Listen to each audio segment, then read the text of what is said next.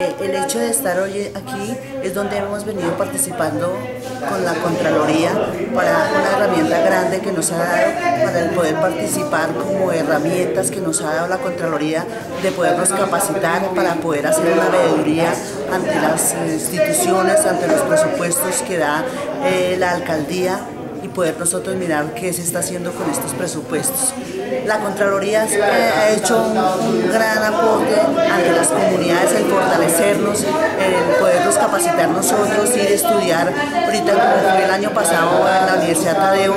donde nos capacitamos muchos líderes porque no sabíamos cómo se hacía una veeduría y es importante que estos cursos sigan, que estos diplomados sigan.